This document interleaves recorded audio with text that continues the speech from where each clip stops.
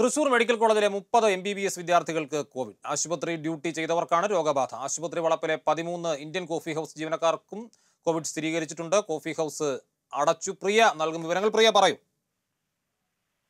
വലിയ ആശങ്കയുള്ള വാർത്തയാണ് ഇപ്പോൾ തൃശൂർ മെഡിക്കൽ കോളേജിൽ നിന്നും വന്നിരിക്കുന്നത്. മുപ്പത് എം ബി ബി എസ് വിദ്യാർത്ഥികൾക്കാണ് ഇപ്പോൾ കോവിഡ് സ്ഥിരീകരിച്ചിരിക്കുന്നത്. രണ്ട് ബാച്ചുകളിലെ വിദ്യാർത്ഥികൾക്കാണ് ഇത്തരത്തിൽ കോവിഡ് വന്നത്. അതുകൊണ്ട് തന്നെ ഈ രണ്ട് ബാച്ചുകൾക്കും അവധി പ്രഖ്യാപിച്ചിരിക്കുകയാണ്. ഹോസ്റ്റൽ അടയ്ക്കണോ എന്ന കാര്യത്തിൽ ഉടൻ തന്നെ തീരുമാനമെടുക്കും. ഇവർ കഴിഞ്ഞ ദിവസങ്ങളിലായി ആശുപത്രി ഡ്യൂട്ടി ചെയ്തിരുന്നു.